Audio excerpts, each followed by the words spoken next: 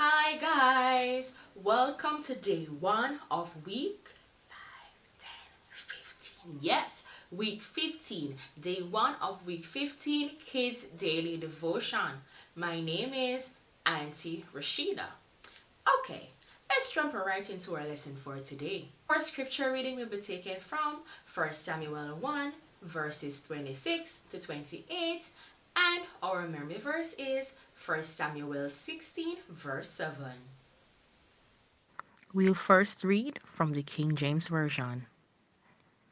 And she said, O my Lord, as thy soul liveth, my Lord, I am the woman that stood by thee here, praying unto the Lord.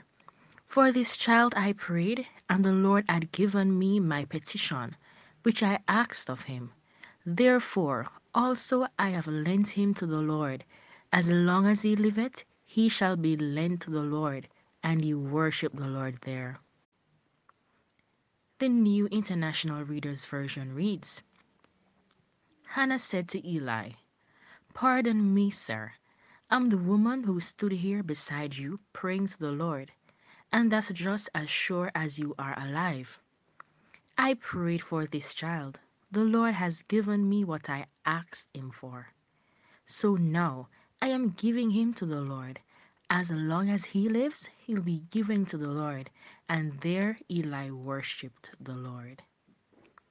Let's honor God's holy word by saying, Thanks be to God. Alright, it's time for us to explain what we have just read. Hannah prayed to God for a baby. God answered her prayers. He gave her the desire of her heart. He gave Anna a baby boy. Yes, and she named that baby Baby Samuel. Yes, God is so good to Hannah. Hannah had a heart of gratitude, a heart of thankfulness. And because of the heart that Anna had, she gave back baby Samuel to God. She carried Samuel when he was old enough, maybe a young boy, to the tabernacle to stay with Eli. Anna gave the baby to God because she was happy for the blessing God gave to her.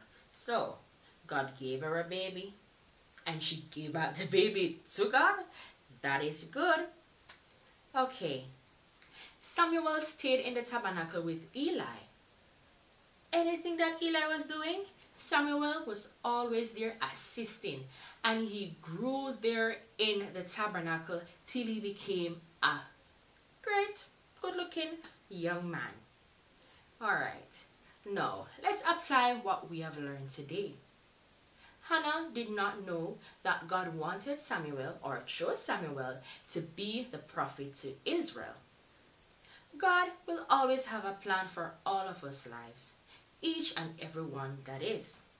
God had a plan for Hannah's life, which is for her to carry that baby boy Samuel, who he will use to be the prophet to Israel. That is good. Whenever God blesses us, we should always give back to him. He will appreciate it. And that shows that we have a heart of thankfulness and we are showing appreciation. Alright, for our activities today, just look at the screen and for those with your journals, you will see the activity. Fill in the blanks. You can find your answers right here in your memory verse, that is 1 Samuel 16 verse 17. So go ahead, my boys and girls, fill in your answers and you can indeed share it with us.